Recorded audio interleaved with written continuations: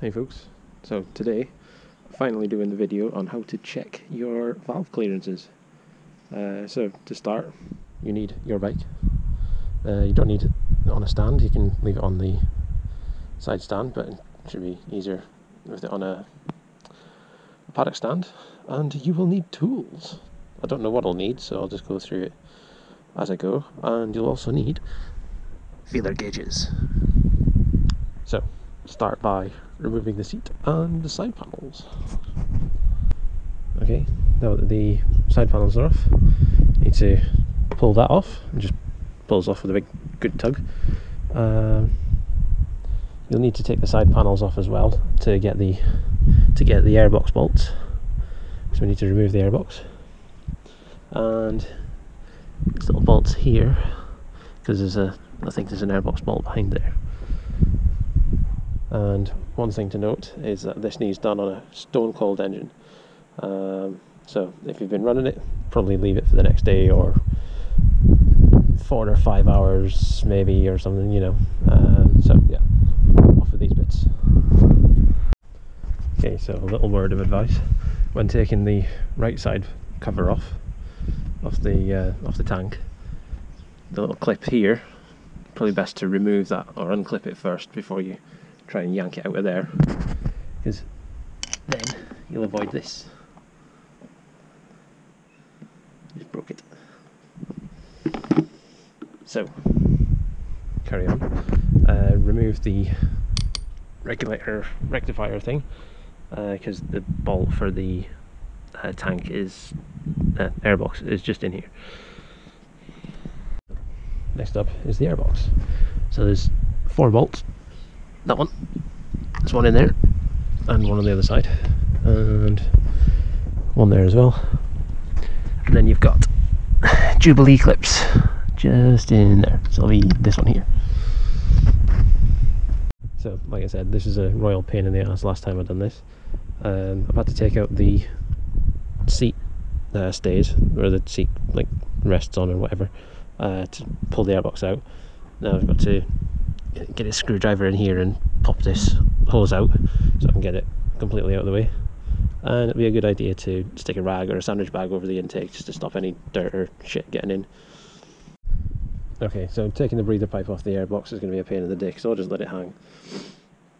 Uh, right, we need to take this off so that we can get in a bit of clearance in down here and to get these pipes out of the way as well.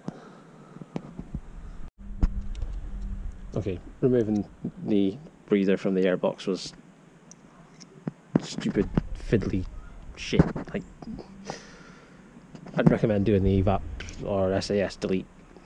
That'll be next on my list. Uh, so, um, so I've taken that off. There's two cable ties around here. Just snip them and then they slide off because they're covered in oil and shit. Uh, and I've got a power commander fitted, so this, this loom uh, here with the braided stuff on. Uh, that goes to the coils. So unplug the coils and then remove them.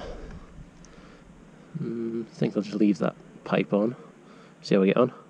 Uh, so yeah, off with them. So with the coils unplugged, now to remove the coils themselves. So there's two screws, one there and one in there.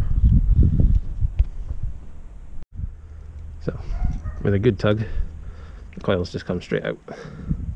Just kind of give it a wiggle as you're pulling it out and come straight out. And there's the spark plugs. So I'm going to be changing the spark plugs because it needs it, just because I want to. Okay, next up uh, is to remove the valve cover. So uh, at this point you might want to take the opportunity to clean it, uh, clean off the, the valve cover, uh, just to stop any muck getting into the valve train area. Uh, so I used a like wheel brush just to knock off any loose crap and then just blow it out a bit, uh, just to save any problems in the future. So uh, this uh, valve cover is three bolts, one, two, three, and it should just be a tug to pull it off. Okay, so that's the valve cover out. and as always, that was needlessly difficult. Uh, the way I just pulled it out, I, I think you need to like get those cables out of the way, and those ones. Uh, the way I just pulled it out was like that way, so it's going to be a bit of a faff to get in, I think, but I kind of got the gist of it. So it kind of goes in that way, and just give it some death, but be careful not to break it. Uh, but yes, just came out like that. What's it made of anyway?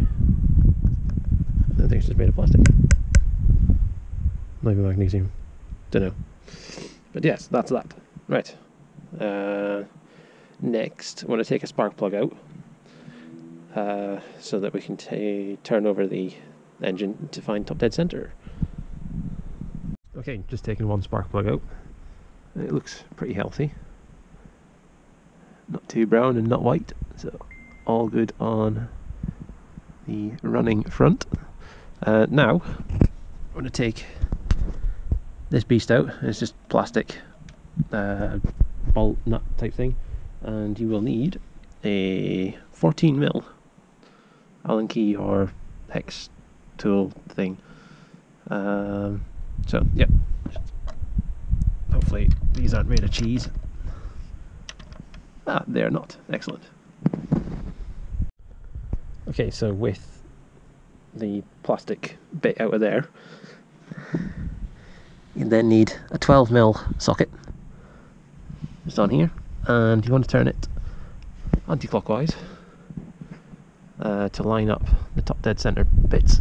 So this little dot needs to line up with that arrow, and there should be something on here too to line up with that arrow. So let's just get it turned around. Don't want it to jump. Ah, there it is. So going to get that mark lined up with this arrow as well. So mine was almost at top dead centre. Tiny bit more. And there we go. The intake side is 0.1 mil to 0.15 mil, um, or 0.004 inches to 0.059 inches, something like that. Uh, that's on the intake side. So give that a poke in. Pokey, pokey, pokey.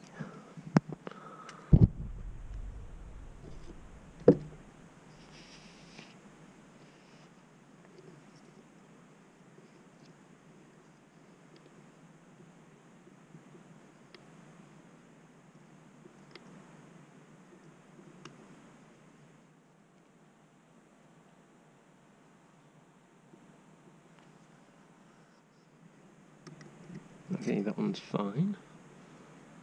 Try it to other side. Use.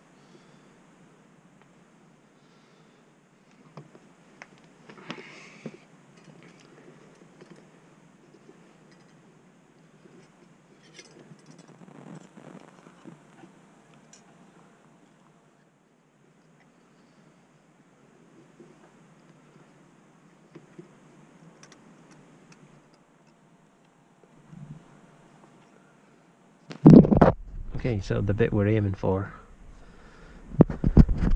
is between the cam uh, cam lobe and that little rocker arm. So that's where you need to poke the uh, feeler gauge. So.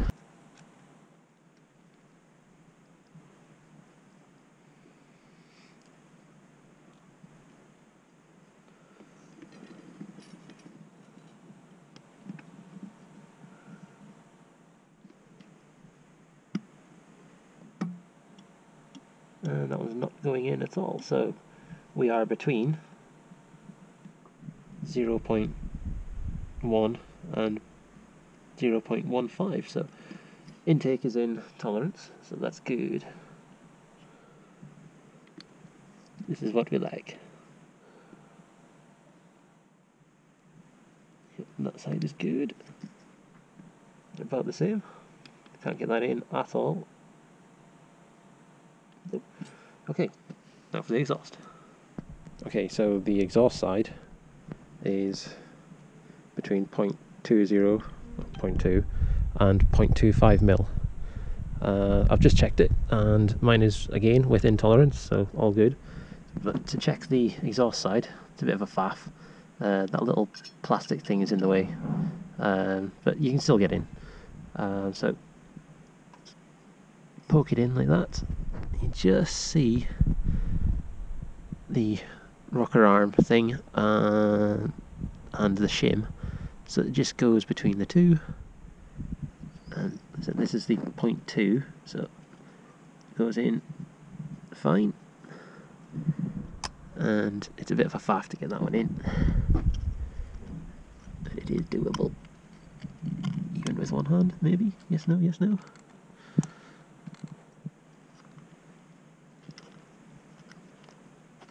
Even with one hand. So that goes in, that's fine, but the 0.25 was just a little bit too tight uh, to try and squeeze in. So on my next valve check at, I know, 10,000, 12,000 miles, um, I think I might need to change the, uh, exhaust shims, uh, but the intake ones were fine, so that is that. So I'm just going to replace my spark plugs uh, and the little fuel filter in here. Uh, it's running a bit funny, so I just want to change them. Okay, so once you've done all the valves, it's just a case of do whatever you've done, but in reverse to put it back together. Um, the valve cover went in a hell of a lot easier than it come out, so uh, yeah, you just pull it from the valve uh, cam chain side. Uh, you get the bits of cables and stuff out of the way, um, and pull it up from that side, and it will just come out. Um, just give it a good wiggle, and job's a good one. Uh, so yeah, just put it back together. Uh, so if you've uh, found my video useful, uh, please hit like and subscribe, and the bell end icon for notifications. Uh, hopefully, I'll be doing some more uh, how-to videos and information videos uh, pretty soon. So, cheers for watching.